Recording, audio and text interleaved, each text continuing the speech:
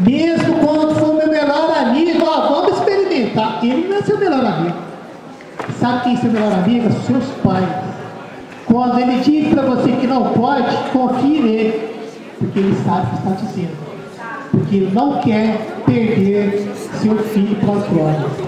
A pior decepção do ser humano, né, principalmente família, é quando a gente vê alguém da nossa família usando droga, a gente não consegue tirá-lo, a gente não consegue salvá-lo. Ele vai morrer usando drogas ou cometendo crimes. Ou o traficante vai cobrar dele muito caro a sua própria vida ou alguém da sua família. Vai pagar um alto preço. Né?